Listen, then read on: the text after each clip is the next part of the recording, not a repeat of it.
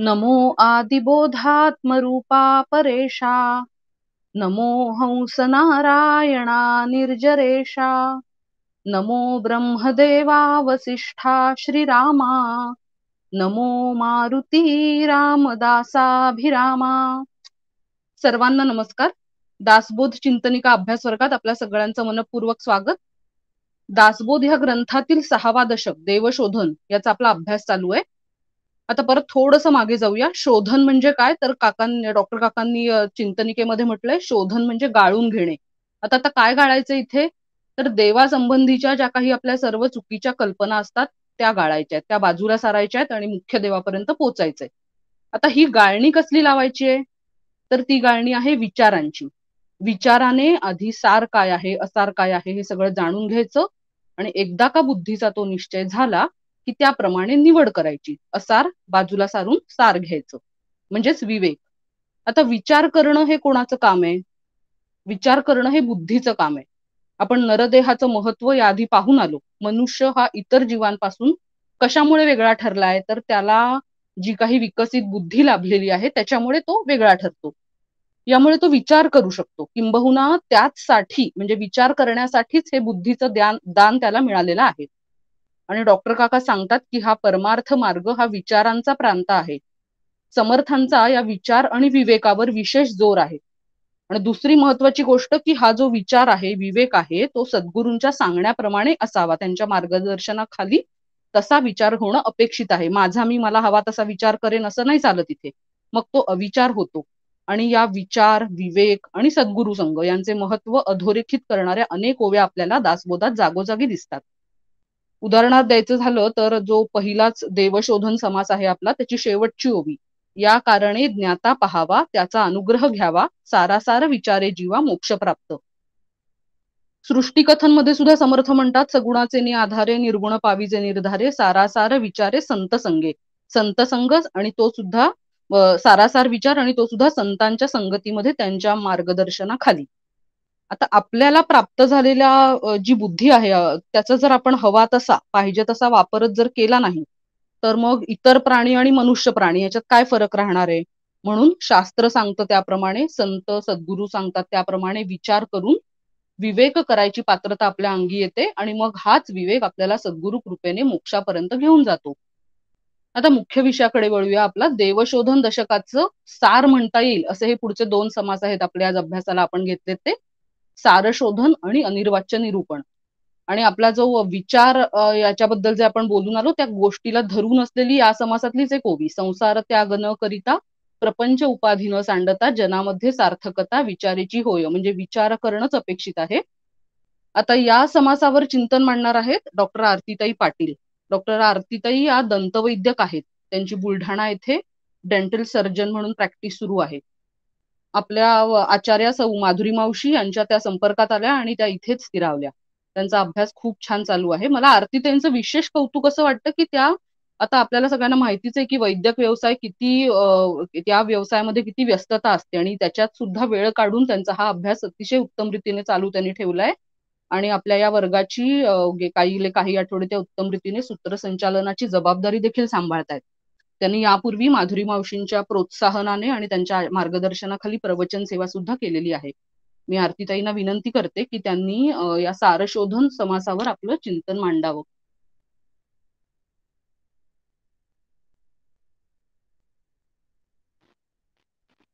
नमस्कार. आवाज येतोय? हो येतो व्यवस्थित. Priyanka thank you. गुरुर्ब्रह्मा गुरुर्विष्णू गुरुर्देवो महेश्वरा. गुरु साक्षात परब्रह्म तस्मै श्री गुरवे नमः. शुकासारखे पूर्ण वैराग्य जानसे वशिष्ठा परिज्ञान योगेश्वरांचे कवी वाल्मिका सारिखा मान्य ऐसा नमस्कार माझा सद्गुरु रामदासा. मला वाटते अंतरित्वा वसावे तुझ्या दास बोधासित्वा बोध व्हावे अपत्या परी पाववी प्रेम ग्रासा महाराज या सद्गुरु रामदासा. जय जय रघुवीर समर्थ. श्री रामरायाला वंदन. समर्थांना वंदन. आपल्या दोन्ही आचार्य त्यांना सादर प्रणाम माझा. आणि आपण सर्व सहाध्यायी सगळ्यांना माझा नमस्कार. या आधीच्या समासांमध्ये आता प्रियांकाने सांगितलं तसं आपण पाहिलं की साधकाचं आत्मानुभव घ्यायचंय हे ध्येय निश्चित झालंय आणि त्यासाठी सगुणा सगुणाचे आधारे निर्गुण पाविजे निर्धारे सारासार विचारे संत संगे श्रीराम. हा मार्ग आपल्यासारख्या प्रापंचिकांसाठी सुलभ आणि म्हणून अधिक सोयीचा आहे हेही आपण पाहिलंय. माया आणि ब्रह्माचं स्वरूप जाणण्याचाही प्रयत्न आपण केला. पण नुसतं जाणून घेतलं म्हणजे कळेल असं नाही. त्यासाठी जाणीवपूर्वक प्रयत्न साधना करायला हवी. परब्रह्माशी ऐक्य साधण्यासाठी नेमकं काय करायचं? कोणते मार्ग आहेत? आणि या मार्गात आव्हानं कोणकोणती आहेत? हे देखील जाणून घेणं महत्वाचं आपल्याला नरदेह लाभला आहे. आहार निद्रा भय मैथून यांच्याशिवाय विचार विवेक करण्याची ताकद फक्त नरदेहालाच मिळाली आहे. याच देणगीच्या बळावर आपण आपलं आत्मरूप होण्याचं उद्दिष्ट गाठू शकतो याची समर्थ अनेकदा ग्वाही देतात. विवेक. विवेक म्हणजे निवड करणे. आपल्यासमोर असलेल्या पर्यायातून योग्य तो पर्याय निवडणे. समर्थांनी चार प्रकारचे विवेक सांगितले आहेत. नैतिक विवेक हा प्रपंचात आणि व्यवहारात केला करावा लागतो. उदाहरणार्थ सत्य मार्ग सांडू नये असत्य पंथे जाऊ नये किंवा प्रपंची जो अप्रमाण तो परमार्थी खोटा पारमार्थिक विवेक. यात आत्मानात्म विवेक जो शरीराच्या संदर्भात केला जातो. आत्मा चेतन अनात्मा जड. नित्यानित्य विवेक. निराकार जाणावा नित्य आकार जाणावा अनित्य. याच बोली जे नित्य विचारणा. हा जीवाच्या आणि जगताच्या हे संदर्भात केला जातो. जग अनित्य ब्रह्म नित्य. सारासार विवेक. हा हित आणि अहिताच्या बाबत करतात. सगुण आसार निर्गुण ते सार सारासार विचार हरिपाठ. माऊली म्हणतात. असार म्हणजे ना नाशिवंत सार ते शाश्वत. जयास होईल कल्पांत ते सार नव्हे श्रीराम. कुठला विवेक कुठे करायचा हे थोडक्यात समर्थ सांगतात ते असं पिंडी नित्यानित्य विवेक ब्रह्मांडी सारा सार विवेक. सकळ शोधून या एक सार घ्यावे श्रीराम. तसं पाहिलं तर आपल्या रोजच्या व्यवहारात आपण नेहमीच विवेक करत असतो.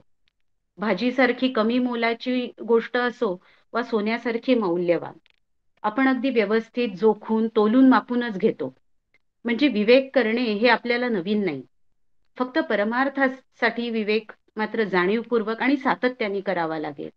परमार्थ साधनेसाठी चांगले वाईट हे ठरवायचं तर गेल्या वेळी प्राजक्ता म्हणाली तसं we will need to unlearn a lot of things decondition our minds and relearn many other things विवेकाच्या जोडीलाच साधन चतुष्टय संपन्न होणं याची जबाबदारी साधकाची. विवेक वैराग्य शमदमादी षटक आणि मुमुक्षुत्व याबरोबरच श्रवण मनन निधिध्यासन आणि तत्वपदार्थ शोधन अशा आठ अंगांनी साधनेची गरज पडते. यातील तत्वशोधन तत्वपदार्थ शोधन हे सर्वात अंतरंग साधन म्हटले जाते. वेदविहित कर्म आणि निष्काम उपासना हेही चित्तशुद्धी आणि चित्तशांतीसाठी आवश्यक असले तरी ती बहिरंग साधने आहेत. यातील विवेक आणि विशेषतः सारासार विवेकाचा विचार या सारशोधन या समासात केलेला आहे. शोधन म्हणजे गाळून घेणे. हे आपण याआधी पाहिलंय. गाळून घ्यायचंय तर चाळणी लावावी लागेल. ती कुठची लावायची? काय लावा निकष लावायचे? हे तारतम्य आपल्याला एंड रिझल्ट काय हवाय यावर अवलंबून असते. दलियाच्या चाळणीतून मी मैदा मिळण्याची अपेक्षा केली तर ते कसं चालेल? जीवनात प्रत्येक ठिकाणी असार सांडून सार घ्यावे लागते. असार वरवरचे कवच असते तर सार अंतरंगातील रहस्य असते. असार आणि सार या दोहोंचे लक्षण निश्चित करणे हेच माणसाच्या बुद्धीचे खरे काम आहे. हाच तो सारासार विवेक. हा विचार केल्यावर साराच्या नादी लागून असाराच्या तावडीतून सुटण्याच्या धडपडीला परमार्थ साधना म्हणतात. परमात्मा दृश्या वेगळा असला तरी दृश्याला तो अंतर्यामी रूपाने व्यापून राहतो. संत संगतीमध्ये तो गुप्त परमात्मा शोधून काढायला शिकता येईल. कारण सर्वसामान्य लोक मात्र हा फरक जाणत नाहीत. ते दृश्यातच रमतात. ज्यांना मायेची जाणीव आहे. या जगताचं माईक असलेलं स्वरूप ज्यांना पुरेपूर माहिती आहे ते मात्र दृश्यापलीकडचं आत्मस्वरूप बघतात. गुप्त आहे उदं उदंड धन काय जाणती सेवक जन तयास आहे ते ज्ञान बाह्याकाराचे श्रीराम. गुप्त ठेविले उदंड अर्थ आणि प्रकट दिसती पदार्थ शहाणे शोधिती स्वार्थ अंतरी असे श्रीराम. तैसे दृश्य हे माईक पाहत असती सकळ लोक परिजयास ठाऊक विवेक ते तदंतर जाणती श्रीराम. स्व स्वचा अर्थ जाणणे खऱ्या मीला ओळखणे याला समर्थ स्वार्थ म्हणतात. जे असूनही झाकलेले आहे लपलेले आहे आणि त्यामुळे नजरेला दिसत नाही त्याला गुप्त म्हणतात. अगदी तसंच खरं सुख शाश्वत सुख आनंद आपल्याच आत दडलेला असूनही आपण मात्र दृश्य जगात तो शोधत राहतो.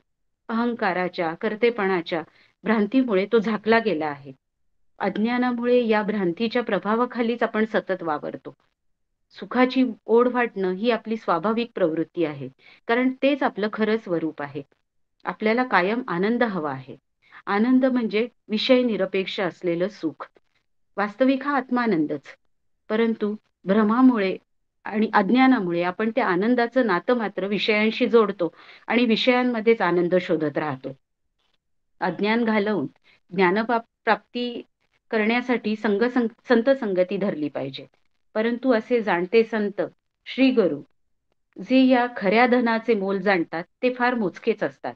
यासाठी समर्थ ओवी क्रमांक अकरा ते सतरा या ओव्यांमधून कल्पतरू चिंतामणी कामधेनू वगैरे फक्त भाग्यवंतांकडेच असतात. इतरांना मात्र काच काचमणी बोरीबाबळीच सापडतात अशा दृष्टांतातून स्पष्ट करतात. समर्थ अनेक उदाहरणे देऊन हे सांगतात की बहुतेक सगळे लोक आपापल्या प्रारब्धानुसार आलेल्या आपल्या कामातच गुंतून पडतात आणि फार थोडे भाग्यवान जाणते लोक सार सेवन करतात. अशा सार सेवन करणाऱ्यांना समर्थ नृपती राजे म्हणतात. आणि हे खरे वैभव आहे हे आपल्याला प्रभावीपणे ठसवण्याचा प्रयत्न करतात. जयाचा आहे विचार ते सुखासनी झाले स्वार. इतर जवळील भार वाहतची मेले श्रीराम. सार सेवी जे श्रेष्ठी असार घेवी जे वृथापृष्टी सार असाराच्या गोष्टी सज्ञान जाणती श्रीराम. अशा ज्ञानी संतांच्या संगतीचा महिमा सांगताना समर्थ राजाच्या संगतीचा दृष्टांत देताना म्हणतात रायाचे सन्निध होता सहजची लाभे श्रीमंतता तैसा हा सत्संग धरिता सद्वस्तू लाभे श्रीराम. या संत संगतीचा नेमका फायदा कुठला? तर म्हणून हे दृश्य जात अवघेची आहे अशाश्वत परमात्मा अच्युत आनंद तो या दृश्या वेगळा श्रीराम. या दृश्यामागचं जे तत्व सर्व चराचरात भरून आहे तेच तत्व माझ्यातही आहे याचा निश्चय संत संगतीने होतो. दृश्या वेगळा दृश्यांतरी सर्वात्मा तो सचराचरी. विचार पाहता अंतरी निश्चय बाणी श्रीराम. जडद्रव्यापासून आत्म्यापर्यंत सूक्ष्मपणाच्या चार चढत्या पायऱ्या आढळतात. जडद्रव्याहून त्यास पाहणारी इंद्रिय सूक्ष्म आहेत. इंद्रियांहून इंद्रियांहून त्यांना जिवंत ठेवणारा प्राण सूक्ष्म आहे आणि प्राणाहून वासना तृप्ती शोधणारं मन सूक्ष्म आहे. सारासाराच्या वि सारासाराचा विचार करणारी बुद्धी मनाहून सूक्ष्म आहे आणि बुद्धीहूनही आत्मा सूक्ष्म आहे. आत्म्या इतके आणि आत्म्याहून अधिक सूक्ष्म मात्र काही नाही. आत्म्याचे स्थान अतिशय खोल आणि गुप्त आहे. सर्व इंद्रियांची हालचाल मनाचे उलट सुलट संकल्प बुद्धीचे निर्णय आणि वासनांचे स्फुरण यांच्या मागे राहून आत्मा त्यांना जाणतो व प्रेरणा देतो. दृश्य पदार्थांपैकी बुद्धी आत्म्याच्या खालोखाल सूक्ष्म आहे आणि ती त्याच्या सर्वात अधिक जवळ राहते. आणि म्हणूनच बुद्धी अधिकाधिक सूक्ष्म झाली तर ती आत्मसन्मुख होऊन त्याचे दर्शन घेऊ शकते. साधना करायची ती बुद्धी सूक्ष्म करण्यासाठी आणि बुद्धीचा निश्चय होण्यासाठी. समर्थ म्हणतात यासाठी संन्यास घेण्याची प्रपंची प्रपंच सोडून देण्याची अजिबात गरज नाही. संसार त्याग न करिता प्रपंच उपाती न सांडता जनामध्ये सार्थकता विचारेची होय श्रीराम. उलट समर्थ तर म्हणतात की जो प्रपंच उत्तम करतो तो परमार्थही उत्तम साधू शकतो. आधी प्रपंच करावा नेटका मग घ्यावे परमार्थ विवेका असंच ते म्हणतात. पण तो नेटका करता आला पाहिजे? नेटका म्हणजे न अटकता. तो साध्य करता आला तर परमार्थही उत्तमच साधेल. गोंदवलेकर महाराज म्हणतात तसा प्रपंच हा कुंपणासारखा आतल्या मुख्य मुख्य शेताच्या शेताला संरक्षण म्हणून. पण आपण कुंपणालाच अधिक खतपाणी अधिक प्रमाणात देतो आणि आतलं पीक मात्र नीट पोसतच नाही. संसार जो खर तर सरणाराच आहे त्यातून सुख शाश्वत सुखाचा लाभ होणार तरी कसा? पण आपण त्याच संसारात असं काही रमतो की नरजन्माला येण्याचं मुख्य ध्येय जे आत्मरूप होणं आहे त्याचाच आपल्याला विसर पडतो. हाच प्रपंच कर्तव्यापुरता जरुरीपुरता केला तर याच जन्मात मोक्षप्राप्ती होऊ शकते. आसक्ती टाकून देऊन संसारातून सुटता येतं आणि मग संशयातीत झालेल्या जीवाला जन्ममरणाच्या फेऱ्यातून मुक्तीचा मार्ग मिळतो. याची जन्मे येण्याची काळे संसारी होई जे निराळे मोक्ष पावी जे निश्चळे स्वरूपाकारे श्रीराम. आणि हे सांगताना समर्थ किती खात्रीने सांगतात तर यासाठी स्वतःच्या उपासनेची शपथ घालतात. ते म्हणतात की हा सगळा रोकडा व्यवहार आहे आणि अनेक संतांना याची प्रचिती आली आहे. शिष्यांनी निशंक मनाने साधना करावी यासाठी समर्थांची तळमळ आपल्याला जाणवते.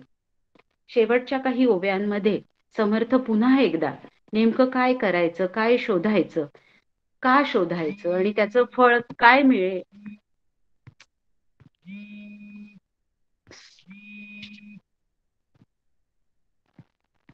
माफ करा मध्येच हे झालं.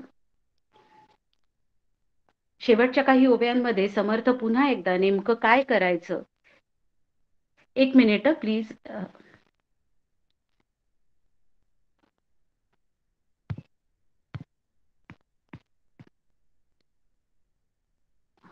हा. शेवटच्या काही ओव्यांमध्ये समर्थ पुन्हा एकदा नेमकं काय करायचं काय शोधायचं का आणि त्याचं फळ काय मिळेल ते सांगतात. देवपण देवपद आहे निर्गुण देवपण अनन्यपण हाची अर्थ पाहता पूर्ण समाधान बाणे श्रीराम. देहीच विदेही होणे करून काहीच न करणे जीवनमुक्तांची लक्षणे जीवनमुक्त जाणे श्रीराम. यासाठी विवेक विचार हे हत्यार म्हणून उपयोगाचे ठरते. सातत्याने हा विवेक जागा ठेवावा लागतो. दृश्य जगात व्यावहारिक सत्तेत आपण नामरूपात्मक जगात वावरत असतो. परंतु त्यामागे असलेलं ईश्वराचं ईश्वराची सत्ता अस्थिभाती प्रियच्या रूपात असते. तिची जाणीव ठेवली आणि तेही ब्रह्माच्या सच्चित आनंद आणि या या गुणांमुळे असते. हे जर लक्षात ठेवलं तर आपल्याला हा सातत्याने विवेक करणं सोपं जाऊ शकेल. फक्त हे सातत्याने साधनं प्रयत्नांनीच आणि साधनेनीच त्यात सहजता येईल. या सहजतेतून हळूहळू साधक आपल्या ध्येयापर्यंत पोहोचण्याच्या पोहोचण्याला सक्षम झाला तरी त्याच्या एकट्याच्या बळावर मात्र हा अंतिम परा पडाव पार पाडणे अशक्य. त्यासाठी श्री गुरूंची कृपा व्हायला लागते. सद्गुरु कृपेनेच सर्व संशय मुळापासून मुळासकट संपून जातील आणि याची देही याची डोळा भोगू मुक्तीचा सोहळा हे प्रत्यक्षात अनुभवाला येईल. संशयातीत होण्यासाठी सद्गुरूंची कृपा सद्गुरु कृपाच गरजेची आहे. असं म्हणत सद्गुरूंची महती पुन्हा एकदा समर्थ अधोरेखित करून हा समाज संपवतात. आपल्या सर्वांची बुद्धी सूक्ष्म होऊन श्रीगुरूंच्या कृपाप्रसादाचा लाभ आपल्याला मिळाव्या. यासाठी समर्थांना साकडं घालूया. झालेली चिंतन सेवा समर्थचरणी अर्पण करते आणि वाणीला विराम देते. धन्यवाद. खूप छान चिंतन झालं आरतीताई. तुम्ही छान अगदी सुरुवातीला जे सार घेतलं ते खूप आवडलं. म्हणजे पार्श्वभूमी तयार केली तुम्ही अभ्यासाची. विवेकाबद्दल विवरण केलं व्यवस्थित. अनेक ओव्यांचा आधार घेऊन तुम्ही विवेकाची अनिवार्यता सुद्धा सांगितलीत. साधनेची आठ अंग सांगितलीत. असाराच्या तावडीतून सुटून साराच्या नादी लागणे अशी परमार्थ मार्गाची व्याख्याही केलीत सूक्ष्मतेच्या श्रेण्या सांगितल्यात प्रपंचाचे मूल्य आणि मर्यादा हे सुद्धा उदाहरण देऊन अगदी छान सांगितलं. अतिशय सुंदर चिंतन झालं.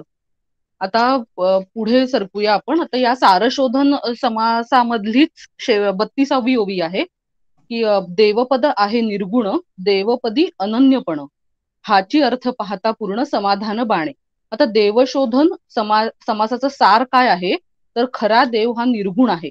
आणि मी जीव म्हणजे कोणीतरी दुसरा नसून लक्षार्थाने या निर्गुण तत्वापासून वेगळा नाही. या बुद्धीच्या निश्चयानं समाधान लाभतं.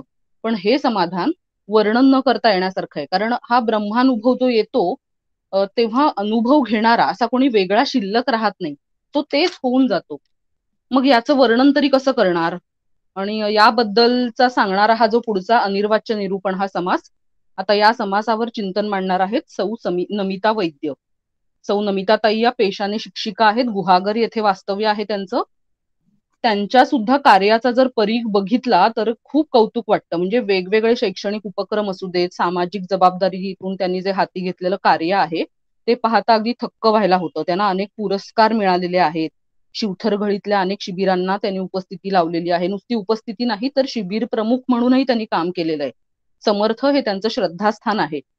मी नमिताताईंना विनंती करते की त्यांनी अनिर्वाच्य निरूपण या समासावर चिंतन मांडावं. श्रीराम धन्यवाद प्रियांकाताई. माझा आवाज येतोय का? हो हो व्यवस्थित येत. मला वाटते अंतरित्वा बसावे.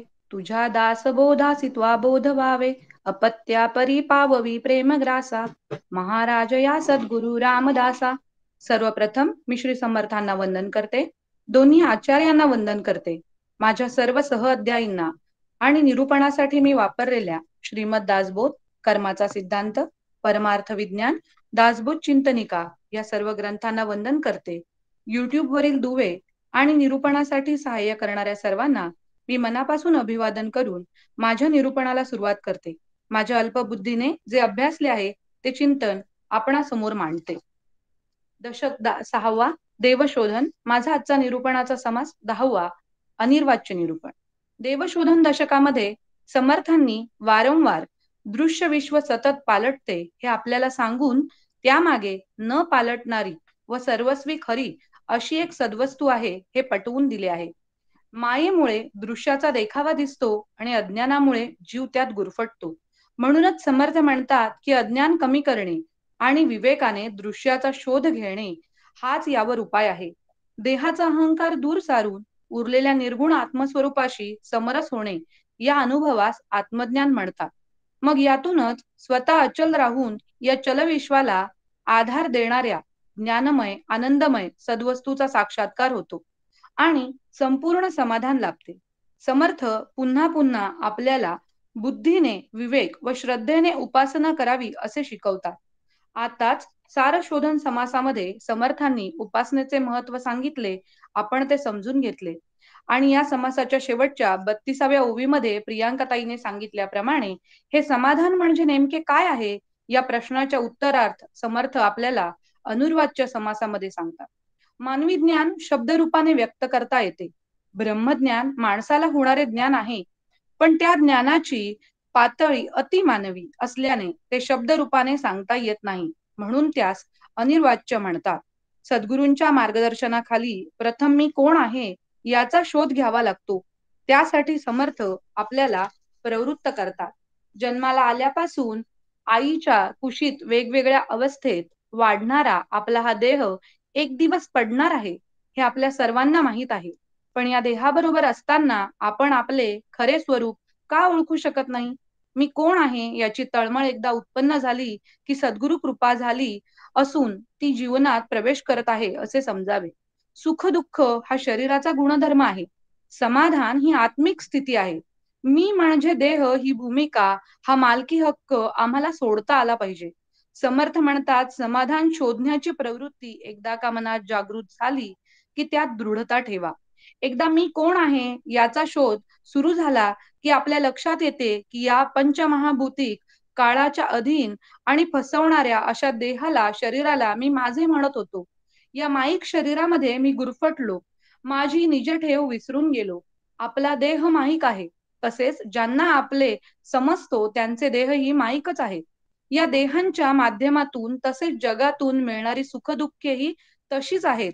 म्हणून बुद्धीचा निश्चय करून जगाविषयीची देहाविषयीची आसक्ती नाहीशी होते.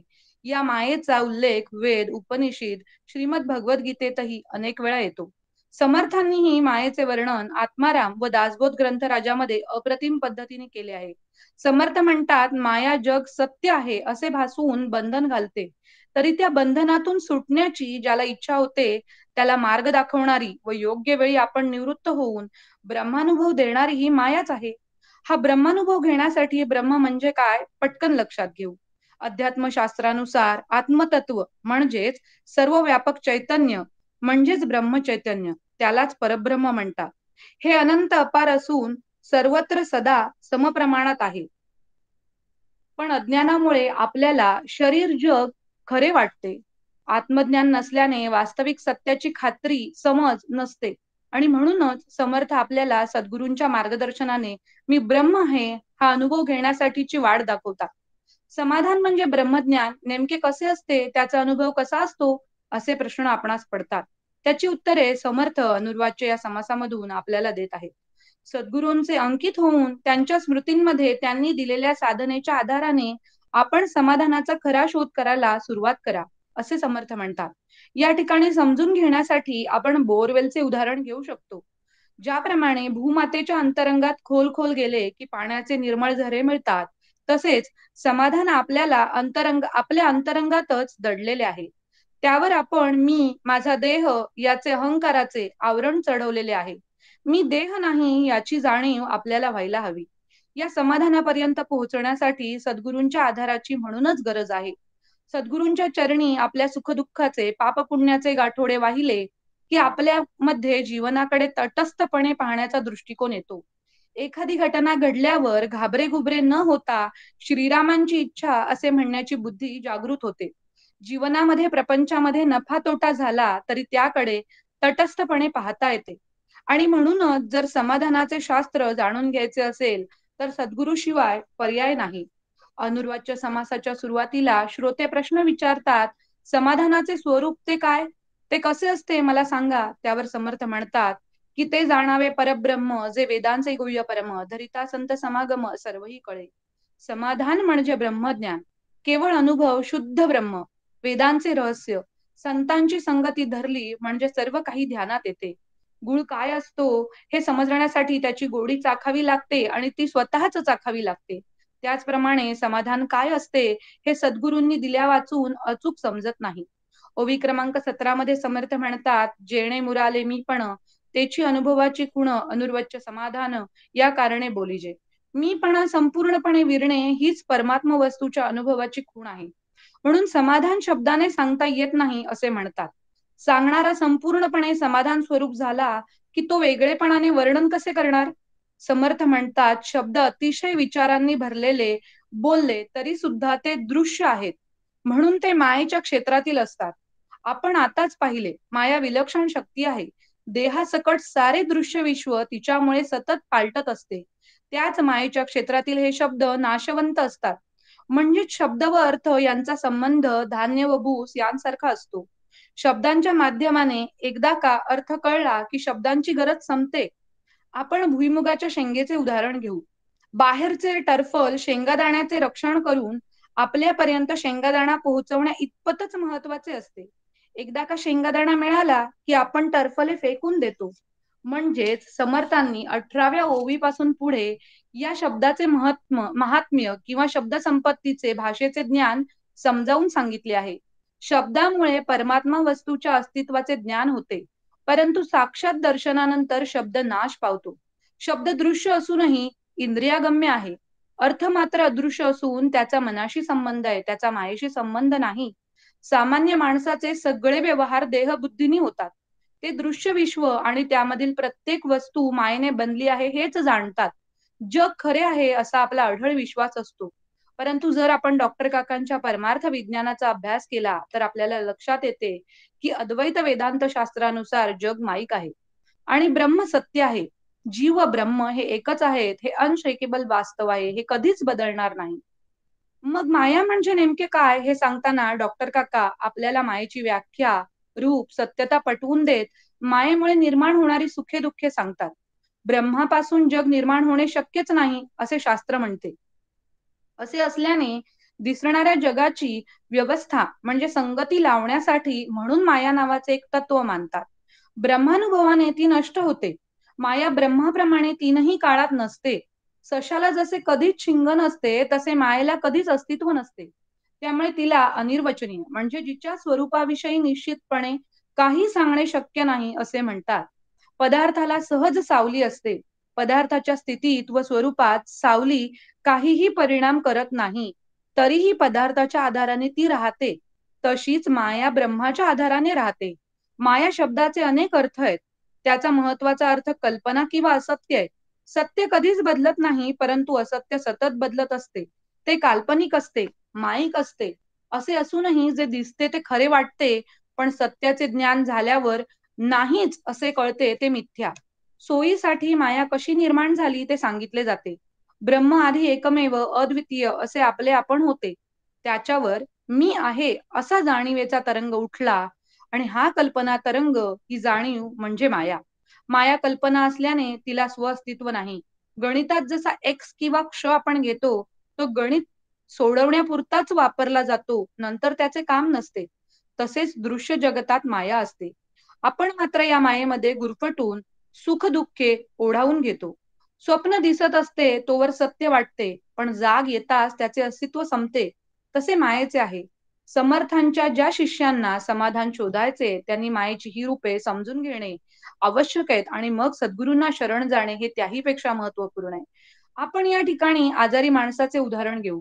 एखाद्या खूप आजारी असणाऱ्या माणसाला अचूक उपचार अगदी वेळेवर मिळाले तर त्याची प्रकृती लगेच सुधारते. त्याप्रमाणे या मिथ्या जगाचे खऱ्या अर्थाने स्वरूप कळले तर आपल्यामध्ये योग्य बदल होतो. अनुर्वादच्या अवस्था आणि समाधानापर्यंत पोहोचणे शक्य होते. आपल्याला जडलेल्या मायेच्या व मायेमध्ये गुरफटण्याच्या आजाराचा नाश होतो. नामस्मरण आणि सद्गुरु भक्तीने आपण या आजाराचा नाश करू शकतो. सदतीसाव्या ओवीमध्ये समर्थ म्हणतात सद्गुरु कृपेस्तव झाला संसार वाव ज्ञान झालिया ठाव पुसे अज्ञानाचा. सद्गुरूंची कृपा झाली आपल्यावर. मग हा संसार खोटा आहे मिथ्या आहे मायेचा पसारा आहे हे समजले. मी आत्मा आहे हे समजले ज्ञात झाले. आणि मी देहच आहे या अज्ञानापासून मुक्ती मिळाली. मग या देहाला धरून ज्या गोष्टी मी समाधान म्हणून ओळखत होतो त्या चुकीच्या आहेत याची जाणीव आपोआपच झाली. ज्या सद्गुरूंनी संतांनी ही अवस्था प्राप्त करून दिली ते देहाच्या पलीकडे आहेत. त्यांच्या चरणी जाऊन मी माझी रडगाणी सांगतो संसारण देहाच्या अडचणी सांगतो हे माझेच मला आठवून हसू आले. ते शांतपणे निद्रिस्त अवस्थेमध्ये असल्यासारखे आहेत. त्यांना संसाराचे काही नाही आणि त्या संसाराविषयी मी संतांना सांगतो.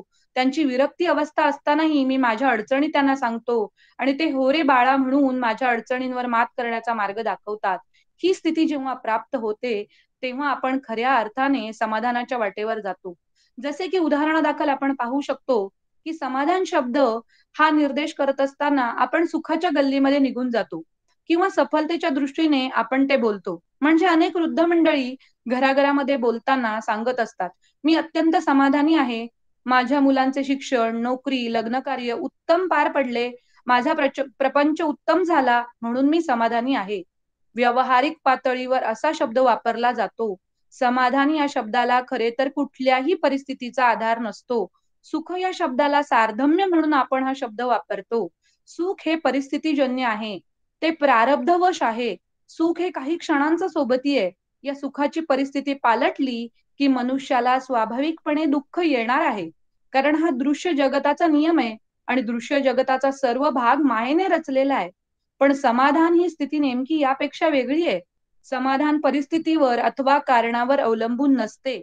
अकारण मनाला होणारा आनंद असा आपण समाधानाचा विचार करू शकतो. सुखाच्या परिस्थितीमध्ये शिरकाव न करता समाधान जाणून घेतले पाहिजे. कारण समर्थ आपल्याला अनेक दाखले देऊन समजावून सांगतात की आपले प्रारब्ध जसे असेल तसे त्याच्या सोबत जाऊन या जन्मी भगवंताची प्राप्ती आपल्याला करून घ्यावयाची आहे. त्यासाठी अनिर्वाच्य स्थिती समाधान प्राप्ती हे आधी समजून घेणे गरजेचे आहे. त्यासोबत या मिथ्या जगामध्ये आपण मायेमुळे गुंतून गेलो आहोत. म्हणूनच सुद्धा आपल्याला समाधान समजून घेणे आवश्यक आहे. या जगामध्ये आपल्याला काय हवंय याचा शोध घेणे जरुरी आहे.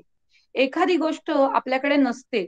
आपण या दृश्य जगात इतके अडकलेले असतो की आपल्याला वाटतं की ती गोष्ट आपल्याला मिळाली की समाधान लाभेल. जसं की ही घरातील सुखाच्या गोष्टींमध्ये टीव्ही फ्रीज यासारख्या गोष्टींमध्ये आपण अडकून बसतो. आणि अट्टहासाने एक एक एक एक गोष्ट मिळवत जातो. ती गोष्ट मिळाली की मग पुढच्या गोष्टीची इच्छा जागृत होते आणि मग आपल्याला वाटते की समाधान प्राप्त होईल. आणि समाधान प्राप्त करण्यासाठी आपली ही धडपड सुरूच राहते. पुन्हा आपण समर्थ काय म्हणतात त्याकडे जाऊया. मिथ्या कल्पनेपासूनही झाला खरे पण कैसे असेल त्याला म्हणून तेथे अनुभवाला ठावची नाही. मुळातच कल्पना खरी नाहीये. म्हणून या कल्पनेपासून जे निपजते ते खरे कसे असेल? त्यामुळे या अनुभवाला आत्मस्वरूपाच्या ठिकाणी स्थान कसे असणार? हे प्राप्त झाले ते प्राप्त झाले की समाधान कसे मिळणार? त्याच्यामागे माया आहे.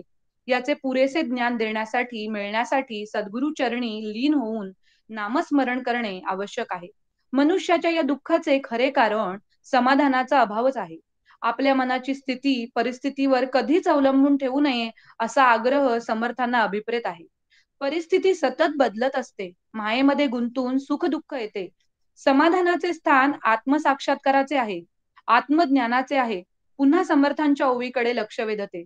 समर्थ म्हणतात अद्वैत निरूपण होता निमाली द्वैताची वार्ता ज्ञानचर्चा बोलो जा, जाता जागृती आली. सद्गुरूंच्या आशीर्वादाने शुद्ध व सरळ तर्काने अद्वैतमय सहज स्थिती चर्चा चिकित्सा झाली आणि आपण साध्या मायेच्या भ्रमात वावरतो एवढी जागृती आली. मी अज्ञानी आहे हे बुद्धीने पटवून दिले की मग मन अर्थरूप बनले आणि मायेच्या पसाऱ्यातून मुक्त झाले. देह बुद्धीला साफ मागे टाकले आणि मग खुणेने आत्मज्ञानातून मिळणाऱ्या समाधानाचे स्वरूप बरोबर लक्षात आले. पदार्थ दिसत असूनही आपण जेव्हा ती खात्री करून घेतो तेव्हा त्या पदार्थाचा बाध झाला असे म्हणतात. प्रत्यक्षात नाही अशी खात्री होते तेव्हा त्या पदार्थाचा बाध झाला असे म्हणतात. मृगजळ प्रथम खरे वाटते पण एकदा कळले की तेथे खरोखरीच पाणी नाही की ते मृगजळ आहे असे दिसत असते.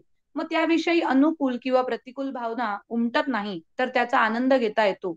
एकदा का हे जग खरे नाही माईक आहे हे कळले की जगातील घटनांचा आपल्यावर परिणाम होईनासा होतो. जसे की कोणी बोलल्याचा राग येणे अपमान वाटणे आनंद वाटणे दुःख वाटणे याच्या पलीकडे आपण जातो आणि त्यात तितकेसे गुंतणे होत नाही. मी माझा माझे या संकल्पना गळून पडतात. यालाच गोंदवलेकर महाराज खेळा ऐसा प्रपंच मानावा असे म्हणतात. जोवर आपण स्वतः समाधान प्राप्त करण्यासाठी मनापासून प्रयत्न करत नाही तोवर आपली त्या दिशेने वाटचाल होणे अवघड आहे. कर्माच्या सिद्धांताप्रमाणे आपले जे प्रारब्ध आहे त्याप्रमाणे आपल्याला भोगावेच लागेल. परंतु जर आपण या जन्मी नामस्मरण आणि सद्गुरूंच्या प्रती जर श्रद्धा दाखवली आणि त्यांनी दाखवलेल्या दिशेने वाटचाल करण्याचे तत्व अवलंबले तर आत्मस्वरूपाचा साक्षात अनुभव मिळेल. समर्थ पुन्हा पुन्हा संतांची संगती आणि सद्गुरूंना शरण जाणेबाबत सांगतात.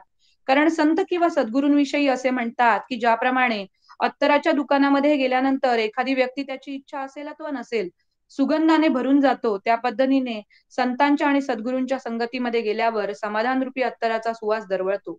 बावन्नाव्या ओवीमध्ये समर्थ म्हणतात रिघेनी रिघोनी सद्गुरु शरण काढूनी शुद्ध निरूपण याची करीसी ऊण खूण प्रत्यक्ष आता.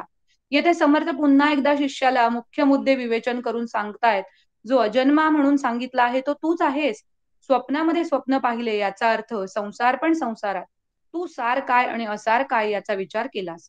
नंतर तू सद्गुरूंना शरण गेलास त्यांच्या तोंडून शुद्ध आत्मस्वरूपाचे विवेचन ऐकलेस. आणि ही खरी गुण आता तुला पटली आहे येथे तुकाराम महाराजांची संतवाणी आठवते. काय या संतांचे मानू उपकार? मज निरंतर जागविती. काय द्यावे यांसी? व्हावे उतराई. ठेविता हा पायी जीव थोडा. लहानपणी आई ज्याप्रमाणे मायने उठवून सांगते उठ ग उठ ग. त्याप्रमाणे संत मला सतत जागृत करतात. यांचे उपकार मी किती मानू? परमेश्वरा यांची उतराई मी कशी होऊ?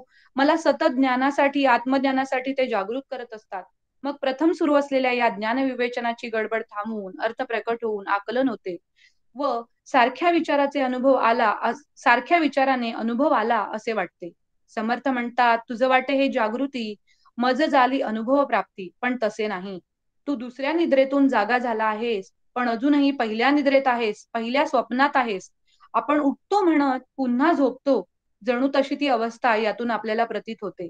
आपल्याला जागृत करतात पण प्रारब्धवश निद्रेत आपण पुन्हा गुंतून जातो. तुझ्यातला अनुभव घेणारा मी जागा आहे तोवर तुला भ्रांती झाली आहे असे समर्थ म्हणतात. समाधान ही केवळ अनुभूतीची स्थिती आहे अनुर्वाच्य स्थिती आहे. सद्गुरूंच्या कृपेने या जागेपणामध्ये आपण प्रत्येक जण जावे आणि सद्गुरूंच्या कृपेने ही स्थिती प्राप्त झाली तर दिव्यत्व येते. येथे अंतरंगाला अनुभवाला शब्दांची उर्मी सुद्धा स्पर्श करू शकत नाही. असे अत्यंत सूक्ष्म अनुर्वाच्यतेने जगण्याचे शास्त्र म्हणजे समाधान. ते निश्चल आहे. सद्गुरु कृपेने पहिले स्वप्न तुटले तर या अनुर्वाच्य स्थितीचा अनुभव घेता येतो असे समर्थ आपल्याला पुन्हा पुन्हा सांगतात. जय जय रघुवीर समर्थ. नमिता हा तास संपूच नाही असं वाटत होतं. तू संदर्भ ग्रंथांची सूची दिलीस खूप सुंदर चिंतन मांडलंस. सुरुवातीला कशा कशाचा आधार घेतला त्यांचे आभार व्यक्त केलेस मला म्हणजे त्या ह्याच्यातनं जाणवलं की बरंच अभ्यास तू केलेला आहेस. मी कोण आहे? ही जिज्ञासा निर्माण होणं हे सगळ्यात गरजेचं आहे. आणि खरंच गरज निर्माण झाली ना की ती ती झाल्याशिवाय मी ती गरज पूर्ण करण्यासाठीचे प्रयत्न होत नाहीत. आता तू ब्रह्म म्हणजे काय माया म्हणजे काय हे विस्तृतपणे सांगितलं वेगवेगळी उदाहरणं मला सगळ्यात आवडली केवढी उदाहरणं दिलीस तू एवढ्या वेळात. आणि ती अगदी छान खुबीनी चपखल बसत होती तिथे. जग जगाची व्यवस्था लावण्यासाठी मायेचा स्वीकार आहे. सद्गुरु कृपेचे अनन्य साधारण महत्त्व ही तू परत सांगितलंस. समाधान आणि सुख याचा तौलनिक छान विचार मांडलात. अकारण मनाला होणारा आनंद ही अशी समाधानाची व्याख्या केली दुःखाचं कारण म्हणजे समाधानाचा अभाव आणि त्या समाधान प्राप्तीसाठीचा आपला हा समाज माया जाणून घ्यायची. कशासाठी? तर ती दूर सारण्यासाठी. एकंदरच चिंतन खूप अभ्यासपूर्ण झालं. मी आता आपल्या आचार्यांना विनंती करते की त्यांनी मार्गदर्शन करावं. माधुरी मावशींना पहिल्यांदा सांगेल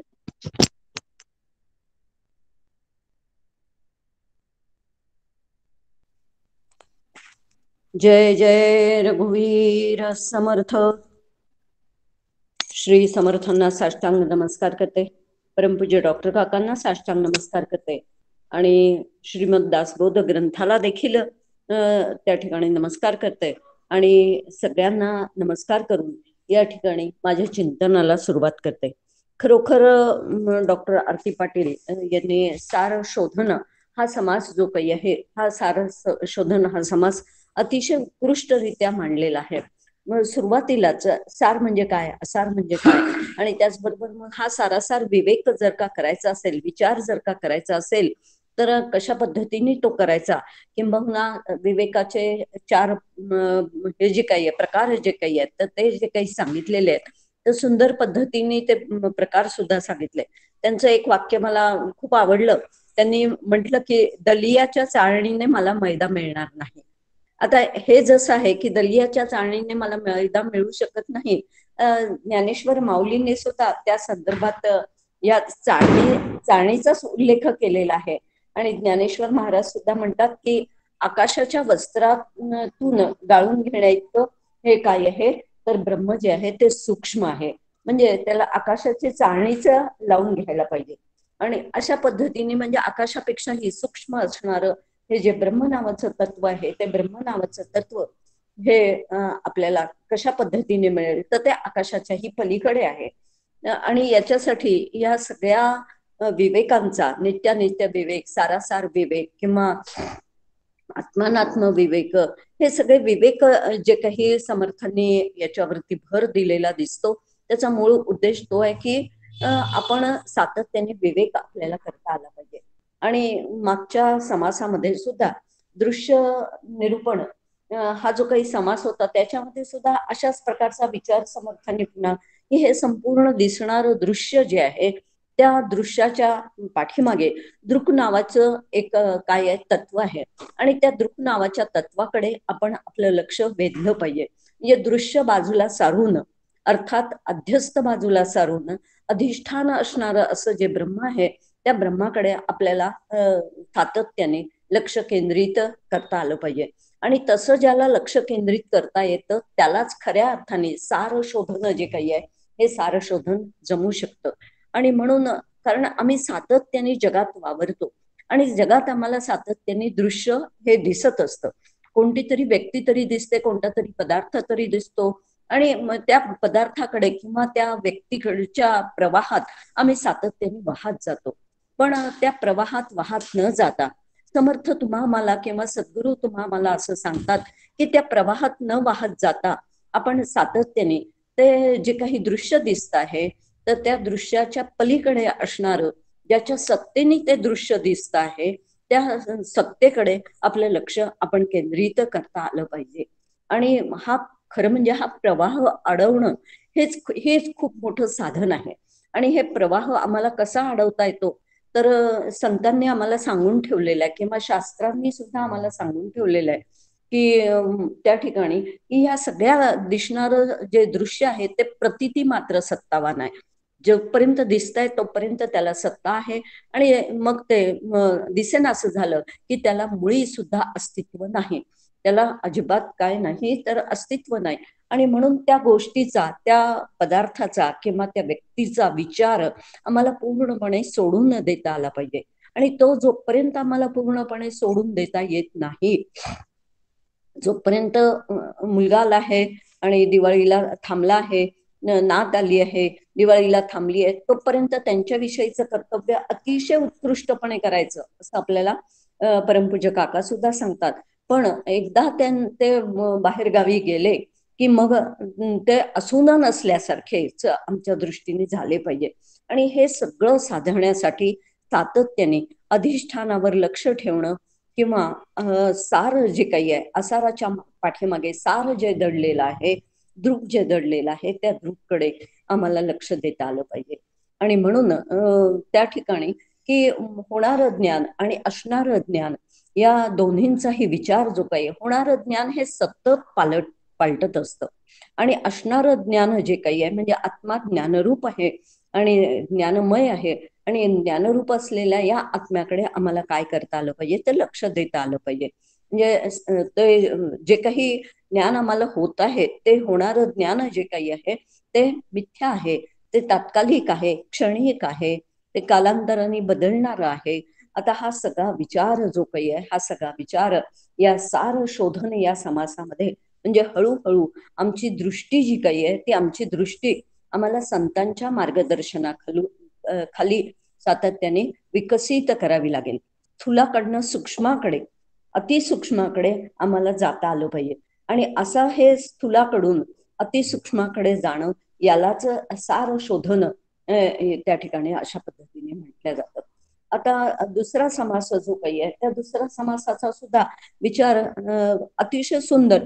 नमिताताईंनी अप्रतिम अशा पद्धतीने तो सगळा विचार अभ्यास पूर्ण तो मांडलेला आपल्याला लक्षात येतो.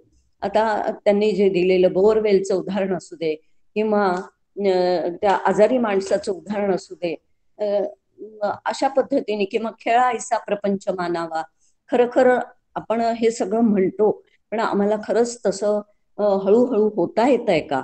तर कारण प्रत्येक गोष्ट जी काही आहे ती काय करता आली पाहिजे? तर ती इम्प्लिमेंट करता आली पाहिजे. ती आम्हाला व्यवहारामध्ये वापरता आली पाहिजे.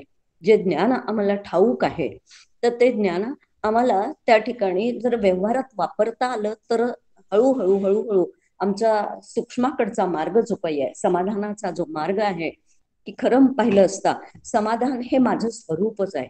पण माझं स्वरूप असताना सुद्धा मला त्या ठिकाणी का म्हणून कारण मी दुसऱ्यांवरती माझं समाधान दुसऱ्या विषयावरती दुसऱ्या व्यक्तीवरती दुसऱ्या पदार्थावरती माझं समाधान अवलंबून ठेवते. आणि म्हणून खऱ्या अर्थाने मला समाधान प्राप्त होत नाही. खरं पाहिलं असता ते समाधान हे आमचं स्वरूपच आहे. आनंद हे आमचं स्वरूपच आहे. पण मग त्या आनंदाकडे किंवा त्या समाधानाचा आम्हाला अनुभव कशा पद्धतीने येईल याचा विचार समर्थांनी या दुसऱ्या समासामध्ये अतिशय सूक्ष्म पद्धतीने केलेला आपल्या लक्षात येतो.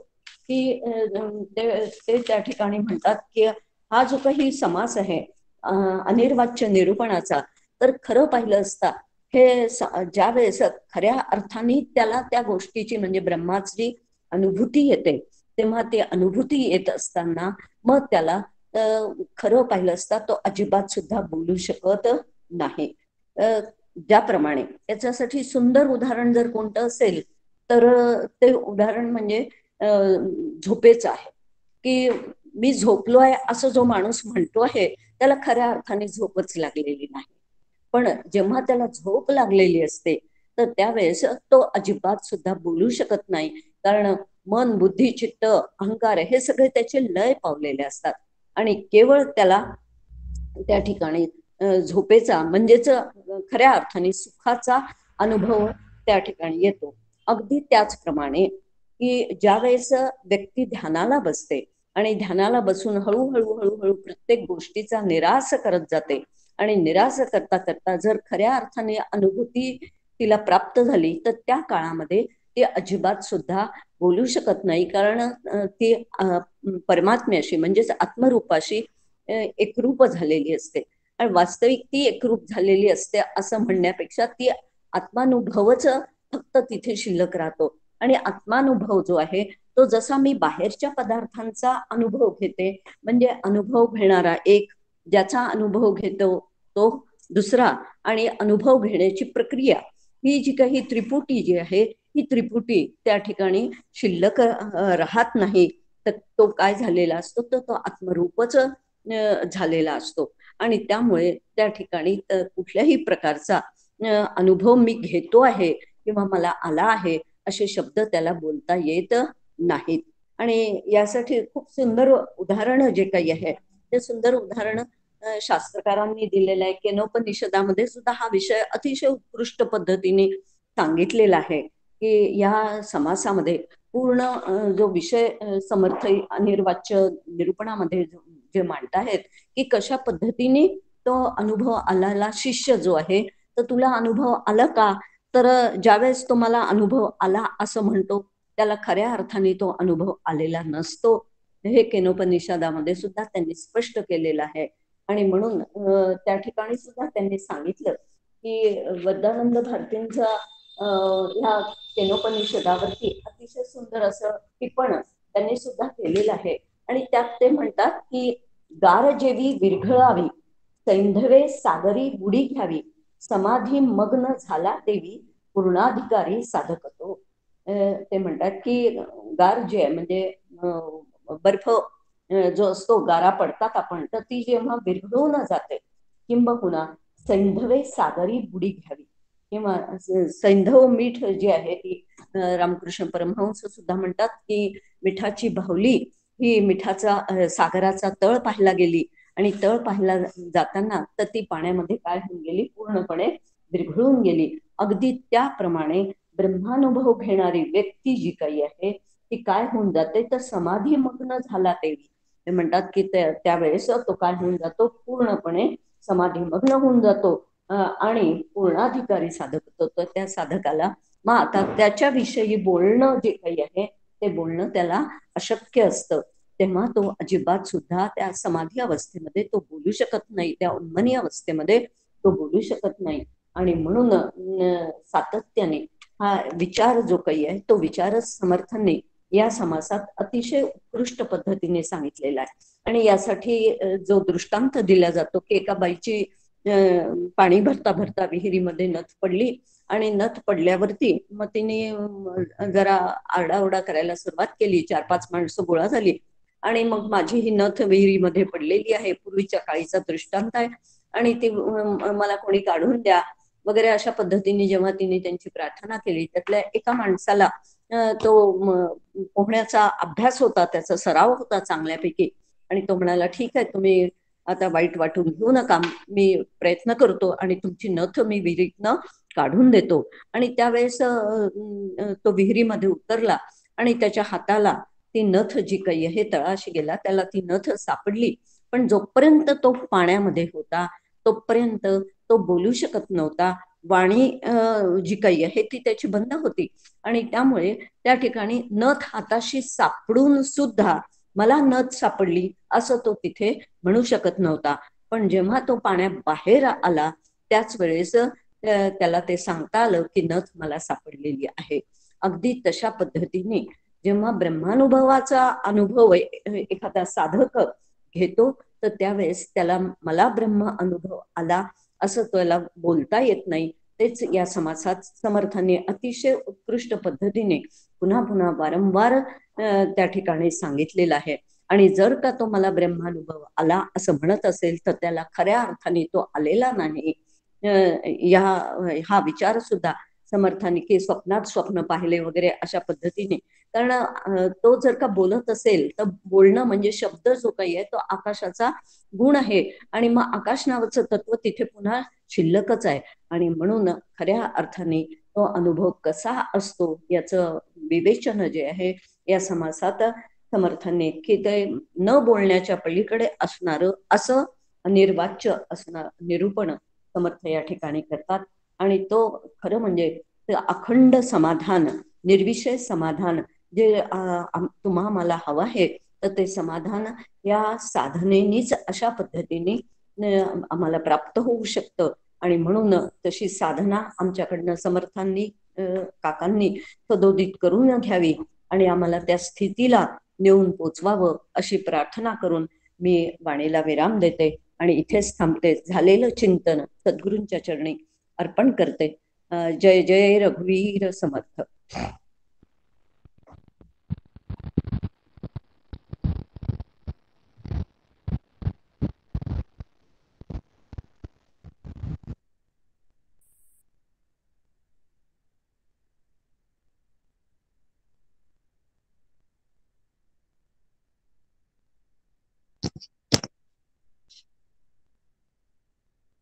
अलकाताई आवाज नाही येत आहे.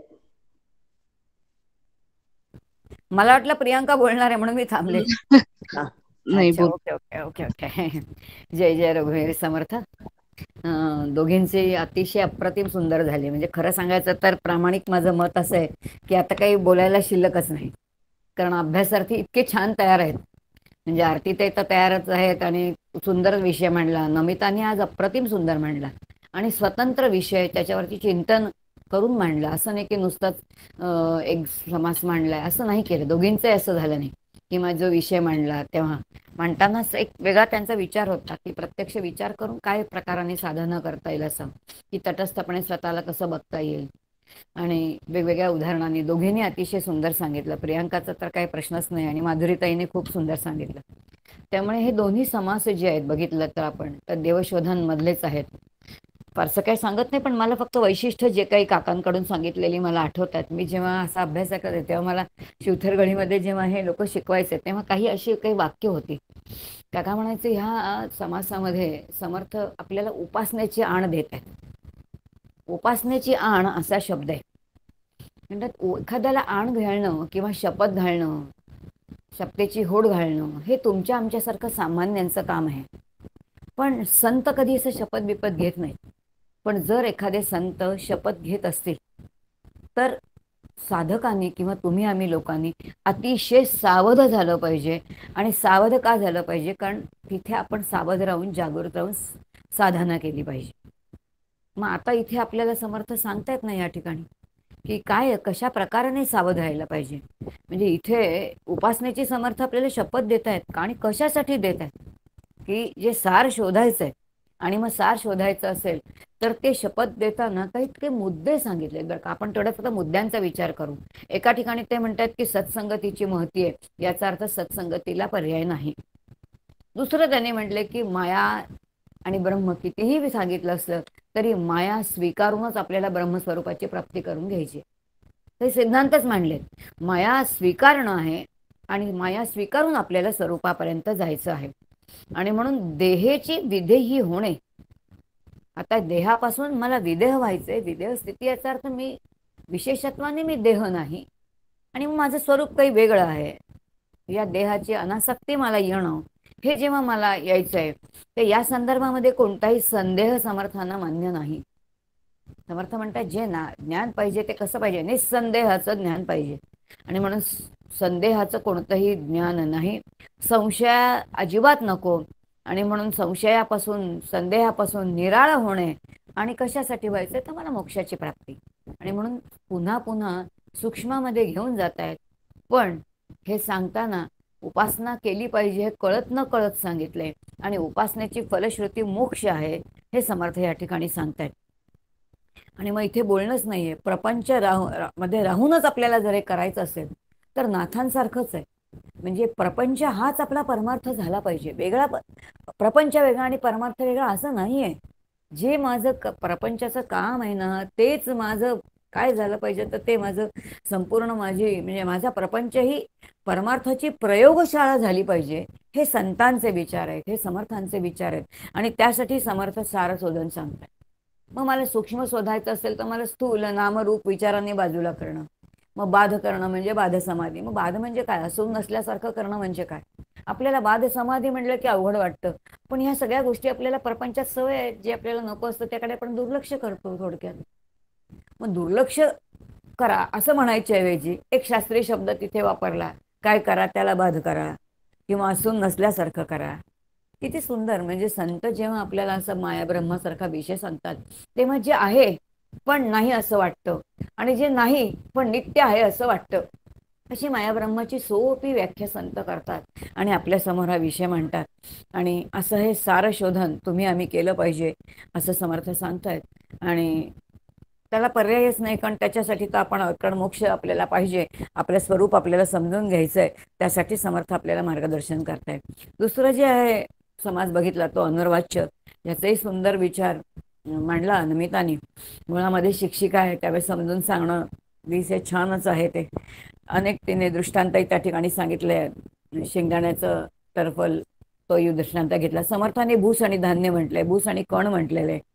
याचा अर्थ या सगळ्या गोष्टी टाकून की कुठेतरी मला काय टाकायचंय मला सगळ्या अवस्था जाणून घ्यायच्या मग अशी उल्लेख झाला की स्वप्नावस्था दीर्घ म्हणजे जागृत अवस्था या सगळ्या अवस्थातून मला तुर्यावस्थेपर्यंत जायचं आहे आणि तुर्यावस्थेमध्ये जाताना एक माया म्हणजे काय? हे सगळं उभं केलं.